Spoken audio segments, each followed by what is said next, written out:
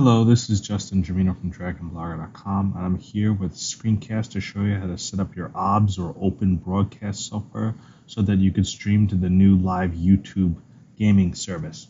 So in order to do this, you want to open up your Open Broadcast software.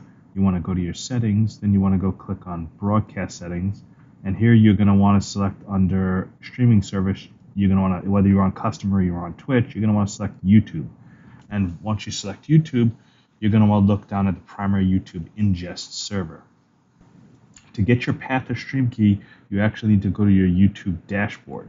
So to do this, you're going to go click on Go Live under gaming.youtube.com, or you could just go to youtube.com slash stream and it'll redirect you to your dashboard. From here, you scroll down to where it says Encoder Setup. Now here you're going to want to reveal your streamer name key which I'll reveal and I'll cut and paste it, but it'll be blurred out so you can't actually see mine because you can't reveal this key publicly because if you reveal this key, then somebody else can take over your stream and stream to your channel. So I'm going to reveal a key, I'm going to copy it, go back to hiding it, and I'm going to paste it here into the open broadcast software. Uh, I have auto reconnect checked. I have auto reconnect timeout as 10 seconds. Um, I'm not saving it to a local file. If you want to also save it to a local file in case your stream breaks or you want to edit later, because YouTube turns live streams directly into videos, I felt there was no reason to save the streams to a file, uh, so I don't do that. You can just download them off of YouTube anyway. I click apply. The next thing you want to go is go to your encoding settings because YouTube streams in 1080p, unlike Twitch, which defaults to 720p unless you have the upgrade. You're going to want to set your max bit rate to 3000, which is recommended and you're going to want to make sure that these settings are encoder X264, use CBR, CBR padding. 3000 bit rate should be, should be fairly good. Click OK. And then what you're going to want to do is you're going to want to load the game that you want to stream. So in this case, I'm going to stream Hearthstone. And I don't know if Camtasia, which I'm using as my screen recorder now, is picking up Hearthstone, but I'm going to, going to click on my game feed I'm going to select Hearthstone. I'm going to click OK. And then I'm going to preview the stream and make sure it's actually recording. And here you can see Hearthstone is up and running in the background just fine. Stop the preview. And now before I start streaming, you want to make sure you go to YouTube and you're going to actually want to set your basic info because you don't want to like have the wrong game show up when you start streaming. So in this case, I'm going to do live Hearthstone.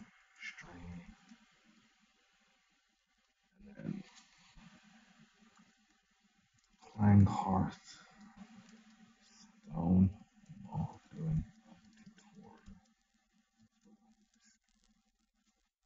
categories gaming, and here you're going to type in the name of the game, and almost all games, especially newer ones, you'll see you can just select, and that's how when you go to gaming.youtube.com, if somebody does a search for a game or selects a game, they'll find your stream there. So you select the game there. You'll notice that you don't have to actually hit save. Everything's saved in real time. You'll notice the channels offline over here and the stream is offline. When I start the stream, which I'm going to do right now in OBS, start streaming, you'll, there's a little bit of latency, but you'll see it start going online. And the good thing about YouTube gaming is, and the live streaming is, you'll see a, how healthy the signal is and, and the bandwidth, and whether or not you're streaming and you're getting 1080p, if the bit rate's faltering, you'll start seeing the analytics and the stream health to know where your streaming is. You see the stream health is starting right now. Stream health at 10:51 p.m. is showing pretty good. It should start showing Hearthstone any second now as it builds up the stream. You see it's counting the timer down, and we should start seeing Hearthstone load. And, and we do right here. Here you can see it's right now 360p is the default quality, but you can update that to 1080p really easily which is something I really like about about the YouTube streaming, is the quality of the stream feed is really nice uh, by default without having to pay extra for the service, which is a really good deal. The other thing you could do is, of course, also, uh, you know, it's mute by default, at least for me. Make sure the sound's working and coming through.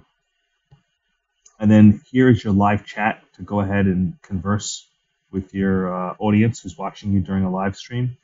You can be found now on a live stream, if somebody searches and goes to gaming.youtube.com and they search for a game like Hearthstone, or they simply want to do a game, you know, select a game, you could find out.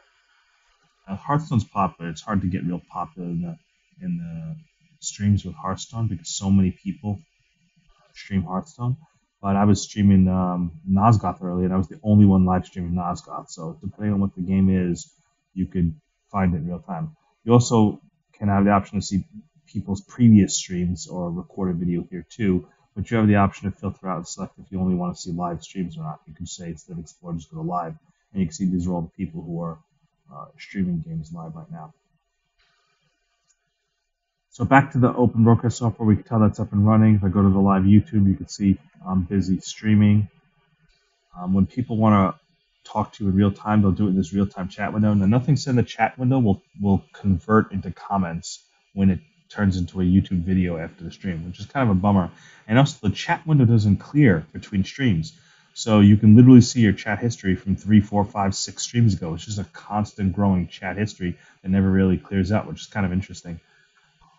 Um, the only other thing about YouTube Game right now is if you want to share your URL on social media, advertise to your friends or fans that you're live streaming, you can grab your, your URL here at the bottom and your share. You can also do direct sharing right there immediately.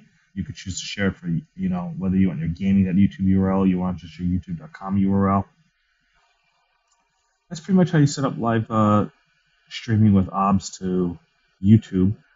Um, unlike Twitch, it doesn't like broadcast to your fans that you're live streaming, so it makes it harder for people to find and know like your audience. In Twitch, if you stream, people can subscribe to get an email notification when their when their Twitch uh, broadcasters are streaming.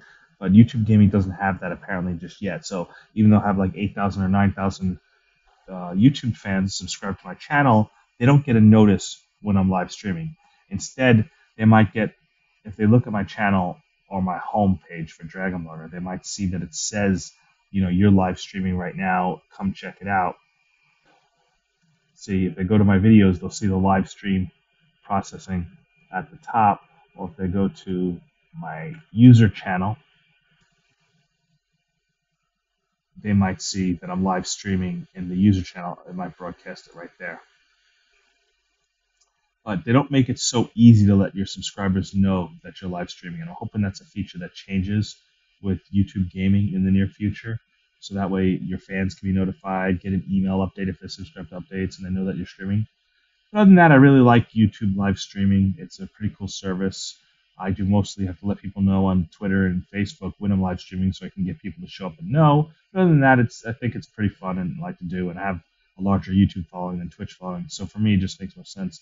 And I find that even my kids now are doing more streaming and watching of gaming.youtube.com than Twitch lately. They just like the the quality of the video better without having to subscribe and pay a monthly subscription. So that's how you set up OBS or Open Broadcast Software to YouTube live streaming.